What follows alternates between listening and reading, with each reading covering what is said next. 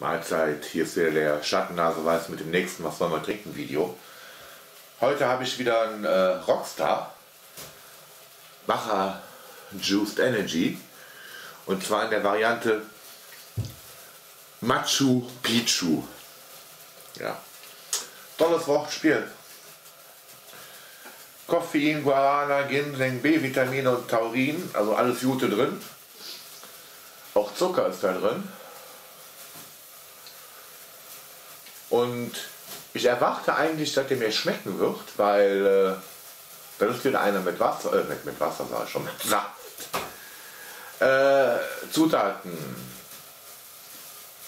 Wasser, Zucker, Apfelsaft aus Apfelsaftkonzentrat 5%, Pfirsichmark aus Pfirsichmarkkonzentrat 3%, Kohlensäure, Säurungsmittel Zitronensäure, Verdickungsmittel Pektin, Taurin, 0,2% natürliches Aroma, Säureregulator, Natriumcitrat, Koffein, Gluco, Glucuronolacton, Guarana-Extrakt, Ginseng-Aroma-Extrakt, Inosit und Ascorbinsäure als Antioxidationsmittel, also wieder Vitamin C.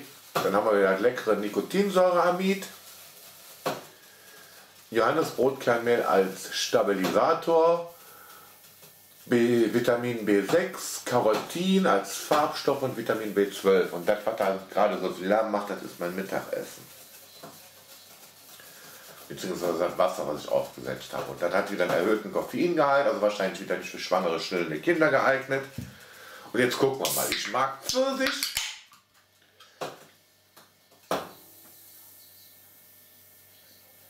Schmeckt, äh, riecht auch irgendwie ein bisschen in die Richtung.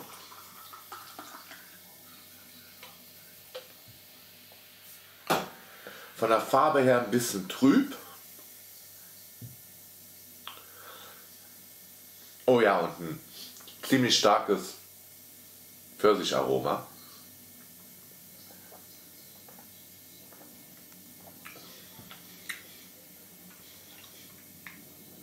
Geschmack her auch in Richtung Pfirsich.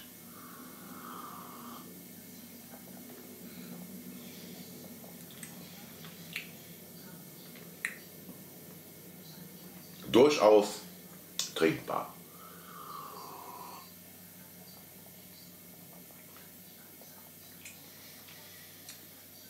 Ich meine jetzt nichts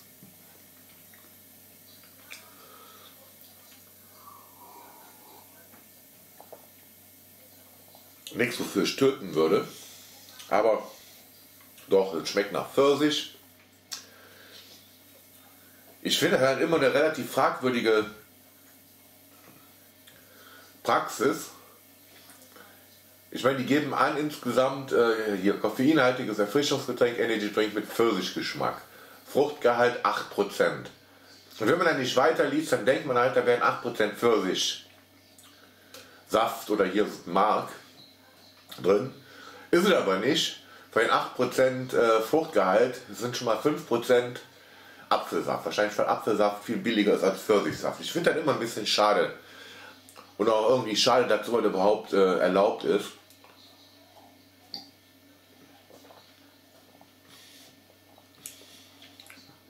Aber geschmacklich einwandfrei.